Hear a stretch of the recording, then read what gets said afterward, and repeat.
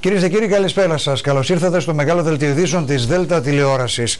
Η έξαρση της βίας και της εγκληματικότητας ανά τη χώρα έχει προβληματίσει σοβαρά τους κατοίκους της Αλεξανδρούπολης αλλά και ολόκληρο του νομού Εύρου. Για το ζήτημα μίλησε σήμερα ο αστυνομικός διευθυντής Αλεξανδρούπολης Ιωακίν Τσουκνάδης, ο οποίος εμφανίστηκε καθησυχαστικός, τονίζοντας πως η πρωτεύουσα του Εύρου αλλά και όλος ο νομός παρουσιάζουν πολύ μικρότερα ποσοστά βίας και εγκληματικότητα συγκριτικά με τις υπόλοιπες περιοχές της Ελλάδας.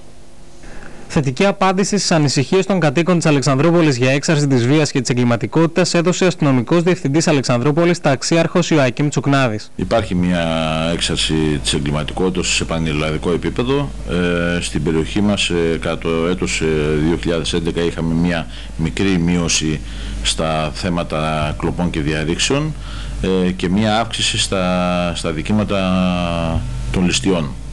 Ε, στη βαριά εγκληματικότητα. Ήταν το ευχάριστο σε αυτή την περίπτωση ήταν ότι είχαμε πάρα πολλές εξυχνιάσεις αυτών ε, γιατί ε, η δουλειά της αστυνομίας εκτός από ε, προληπτική είναι και κατασταλτική. Ο κ. Τσουκνάδης μίλησε και για τον φλέγον ζήτημα της δημιουργίας των κέντρων φύλαξης λαθρομεταναστών, σχολιάζοντας πως είναι μια προοπτική που θα λειτουργήσει πολύ θετικά στην αντιμετώπιση του μεγάλου προβλήματος της ανεξέλεγκτης λαθρομετανάστευσης. Η ίδρυση αυτών των κέντρων θα μας βοηθήσει πάρα πολύ στη σωστή διαχείριση.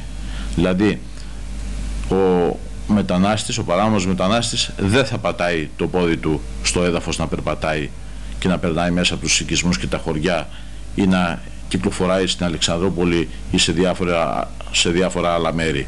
Η λειτουργία του κέντρου κράτησης όταν θα εισέρχονται μέσα θα λειτουργεί έτσι ώστε να κρατούνται σε αυτά μέχρι να απελαθούν.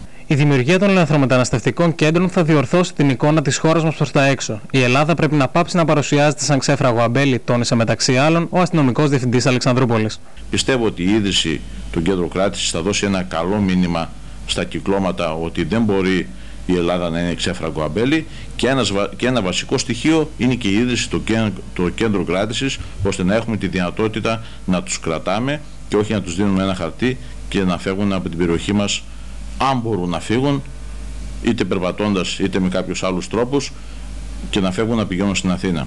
Θα πρέπει και εμείς από την περιοχή μας, γιατί το πρόβλημα είναι στην περιοχή μας, η, μισή η δύναμη της, της αστυνομικής διεύθυνσης, η μισή δύναμη και παραπάνω ασχολείται με το θέμα αυτό, είναι ένα εθνικό πρόβλημα και εμείς σε αυτό το θέμα πρέπει να βοηθήσουμε.